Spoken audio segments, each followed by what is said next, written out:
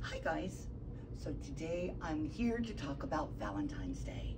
Love is in the air and we've got some adorable little heart necklaces for you, for a friend.